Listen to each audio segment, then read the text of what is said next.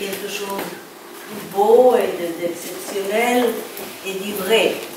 C'è doći Katrin Kuna i Aleksi Deni ili oni imaju male tehničke zahtjeve i oni će biti drugi.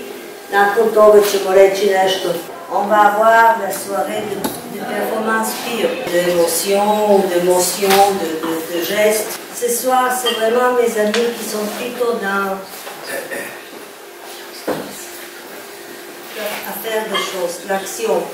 Est-ce que c'est une genre de happening, je ne sais pas, mais c'est vraiment l'action de l'action de la pensée et de geste. Voilà. Alors, Catherine Poulain, Alexis.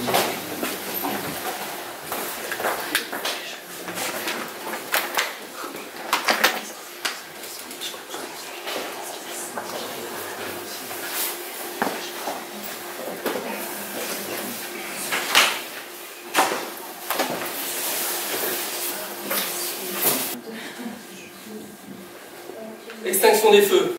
Now, now Artist Outsiders, Alexis Denuy, Catherine Poulain. Donc un collectif, on peut dire deux artistes, mais un collectif. Alors des actions euh, politiques, artivistes, comme on dit, hein, c'est-à-dire l'art et l'activisme, hein, les deux ensemble. Très engagés, bien sûr, un engagement euh, très, très profond, euh, républicain, fondamentalement. Partisan de la liberté, partisan de, donc du combat social, de l'amélioration de la société, et donc euh, une présence légitime, on pourrait dire, au 14 juillet. 14 juillet, fête nationale, il n'y a pas de nation sans fête. Bon, bien sûr, le problème étant que euh, la nation n'est pas forcément euh, homogène. hein. Bien sûr, on peut s'en sentir exclu, on peut aussi vous en exclure, ce qui a été très fortement ressenti ces, ces- derniers temps. Donc, faire acte de présence, mais une présence vigile, vigilante, bien sûr. Donc, la, la question, c'est comment on, on profile un art politique, c'est comment on le- on l'installe dans, dans le paysage euh, concret, voilà, comment on le, on le transmet, comment on, on- on- on le rend accessible, compréhensible, bon, bah, bien souvent par des performances, hein, euh, des performances, c'est-à-dire on agit avec son propre corps, on s'inscrit dans les espaces, l'espace public, l'espace d'une galerie, euh, comme c'est le cas ici à Berlin par exemple, bon, et, et qu'est-ce qu'on fait? Eh bien, on, on agence, hein, des, comme on dit, euh, des, des- des- dispositifs euh, critiques hein, sur les corps, euh, les paroles, les échanges, euh, directs toujours. hein. Il est clair que euh, ce type d'art gagne. En tout cas, depuis la modernité, il s'est constitué beaucoup de cette façon-là, depuis les années, disons, 1960, gagne à être un art du contact, hein, de l'immédiateté, et donc de l'éphémère aussi, mais c'est l'éphémère d'une rencontre dont on espère qu'elle sera l'occasion d'échanges et d'une prise de, de conscience. Il y a une action euh, tout à fait intéressante qui va être menée par NAO, donc à Paris, dans bon, un lieu de, la nuit euh, bien connu chez, Castel, qui consiste euh, voilà, à, s'introduire comme ça dans, dans ce lieu où vous avez des gens bah, qui boivent, qui consomment beaucoup de bruit, qui dansent, hein, bien évidemment, et à lire un texte, à lire un texte euh, donc politique qui bien sûr euh, détonne particulièrement. Euh, bon, le, cette, ce fait de détonner étant accentué parce que c'est absolument stupéfiant cette histoire. On se dit mais il y a quelque chose qui va plus dans ce pays quoi. La justice est malade quoi. Ouais, tout à fait. C'est- La justice est malade au-delà de, de ce qu'est la parole politique conventionnelle. Et c'est sans doute ça qui est intéressant. euh, Si on cherche l'esthétique, la poétique, l'art, il y a une forme d'artialisation ici, hein, comme, on dit, une, forme de mise en art du discours politique conventionnel euh, avec euh, bah, cette convocation de ce que les, Grecs anciens appelaient le, sublime, hein, le, le, le haut, le haut discours hein, ici, tout à fait assumé d'ailleurs. Et donc nous, on a fait une performance sur le pour titre Sur quoi Sur s'appelle Distanciation. Distanciation. Ah oui, d'accord. Voilà. Et, euh, sur- en rapport avec les actualités, euh, le, En rapport avec euh, le mais- fait qu'on doit rester la à distanciation distance, sanitaire. Oui, oui, mais bien sûr, j'ai compris. ouais. avec deux personnages qui s'opposent plus ou moins et qui ensuite se réconcilient. Alors voilà, ça c'est la distanciation que tu peux voir là justement, tu vois, des gens qui dansent mais distanciés, tu vois. Avec un jeu de Oui, main. oui, d'accord. Mm, Très bien.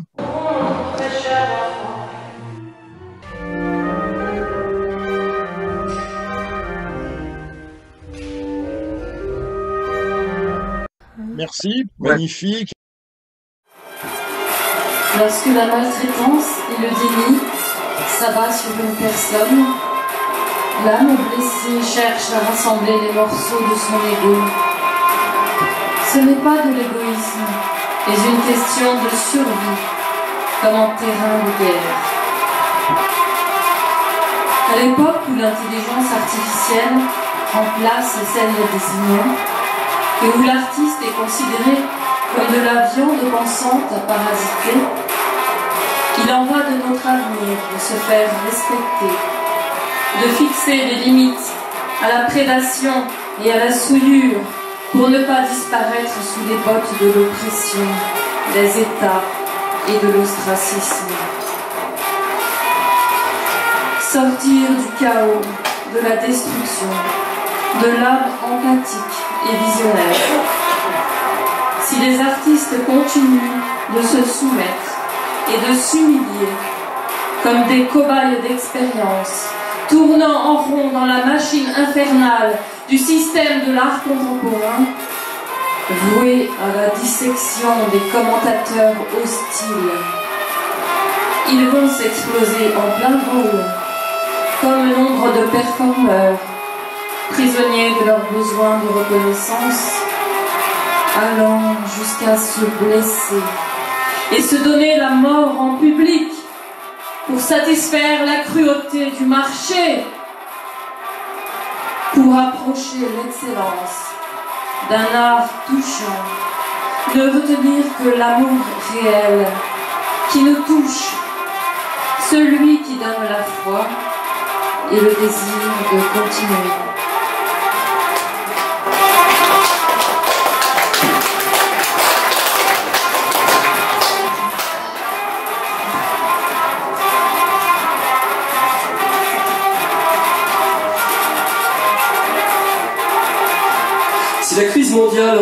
Par Gaza peut au moins servir aux artistes à reprendre leur destin en main, leur mission de s'exprimer qui est un devoir, même si nous sommes désormais affectés au rayon gadgeterie parmi les marchandises des empereurs du gouvernement mondial du sommeil hypnotique, nous sommes soumis à faune, muets, alors que notre rôle est essentiel.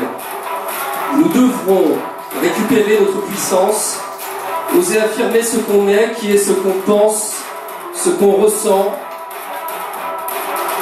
Les artistes doivent arrêter de se taire, soumis à la puissance économique, se réapproprier le sens de leur vie, le pouvoir de construire leur autonomie et récupérer leur pouvoir politique.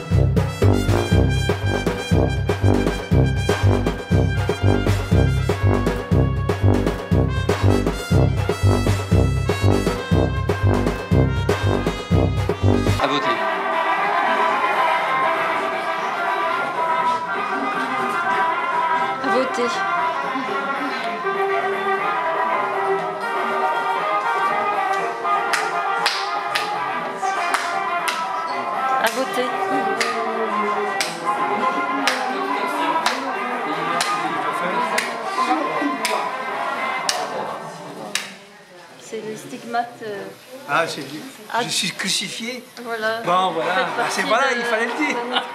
Bon, c'est j'essaye de, euh, de,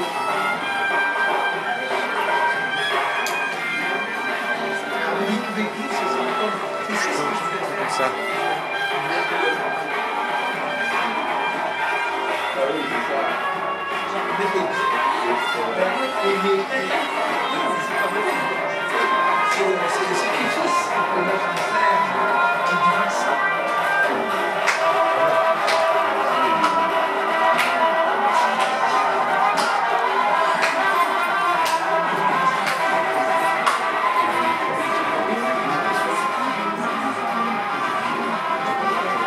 à voter.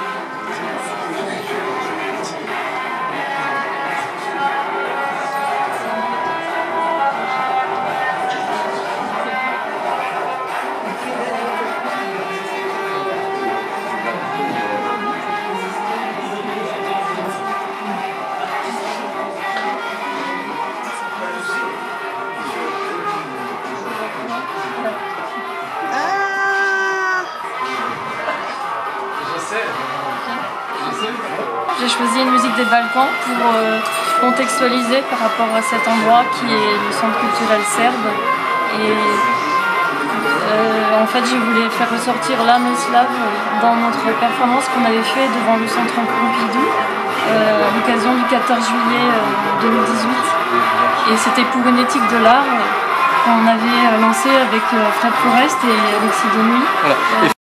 Et donc euh, cette performance en fait a eu lieu à la fois à la Madeleine, où, a commencé par le défilé euh, du 14 juillet, et s'est continué à Beaubourg euh, dans, dans, dans l'esprit d'une revendication d'un lieu culturel normalement qui appartient à tous.